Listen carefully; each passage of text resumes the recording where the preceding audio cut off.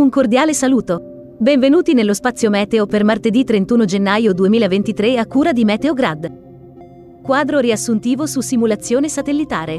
Espansione dell'alta delle Azzorre verso i settori centro-meridionali europei, mentre ad est scorrono masse di aria fredda ed instabile verso i settori orientali europei fino sul Mar Nero e Turchia. Segue ora il dettaglio modellistico previsionale e successiva tendenza. Evoluzione sul comparto euro-mediterraneo. Il flusso freddo polare in uscita dalla Groenlandia sposta l'alta delle Azzorre leggermente più ad est, portando tempo stabile e soleggiato su tutti i settori sud-occidentali europei. Sul bordo orientale di tale anticiclone scorrono masse di aria fredda ed instabile verso l'Europa centro-orientale, fino a scivolare sui Balcani in direzione del Mar Nero e della Turchia. Su queste zone attese condizioni pienamente invernali con nevicate frequenti.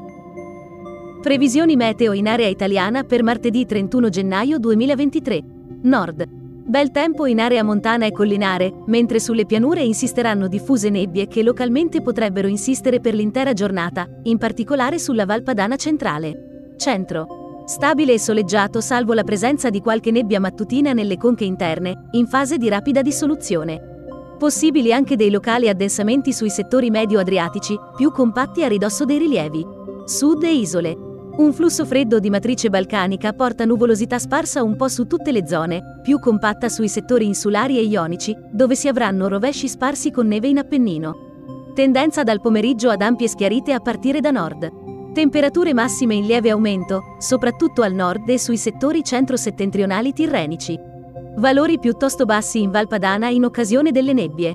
Minime nel complesso stazionarie. Ventilazione dai quadranti settentrionali, da debole al nord fino a moderata, localmente forte, al sud e sulle isole. Mari da mossi sui settori settentrionali a molto mossi altrove. Moto ondoso in attenuazione dalla sera ad iniziare da nord.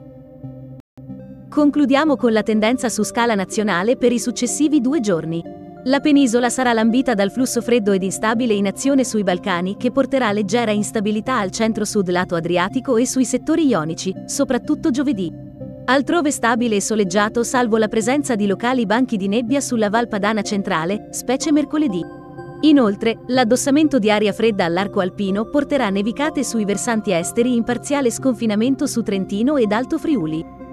Grazie a tutti della vostra attenzione. Non dimenticarti di iscriverti al canale e di attivare la campanellina per ricevere le previsioni aggiornate.